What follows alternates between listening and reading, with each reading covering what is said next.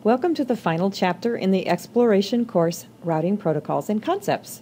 You've come a long way since the first chapter on routing and packet forwarding, and you should be at ease with the concepts covered and skilled in the lab activities when you're done with this class.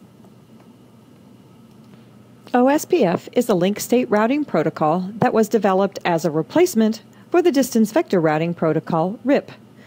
OSPF is a classless routing protocol that uses the concept of areas for scalability. Cisco's IOS uses bandwidth as the cost metric. The major advantages over RIP include fast convergence and its ability to scale to much larger networks. Because RIP uses only hop count as its metric, it may create paths that are not optimal, whereas OSPF will choose the fastest route to a destination even if it must traverse more hops.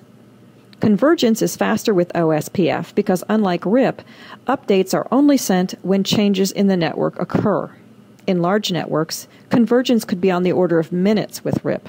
Recall, RIP routers go through a period of hold down in what is sometimes called garbage collection before they slowly time out information that has not been received recently.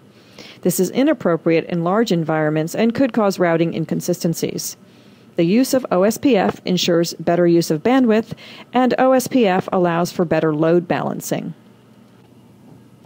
This slide shows an OSPF packet. This packet contains most of the elements you will study in this chapter.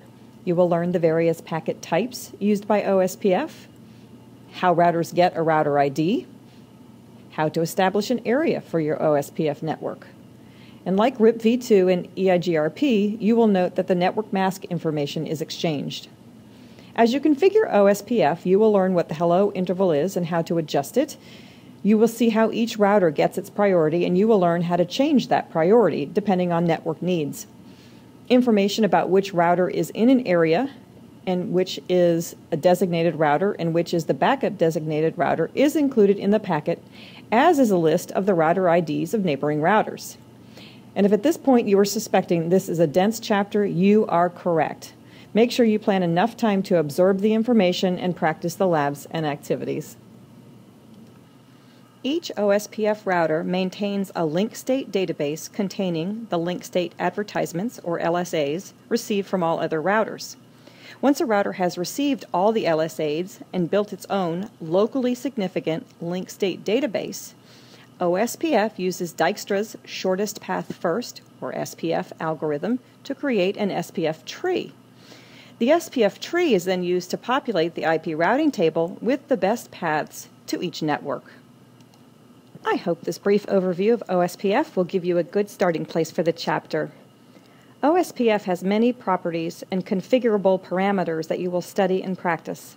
Congratulations on your progress, and good luck as you end the course.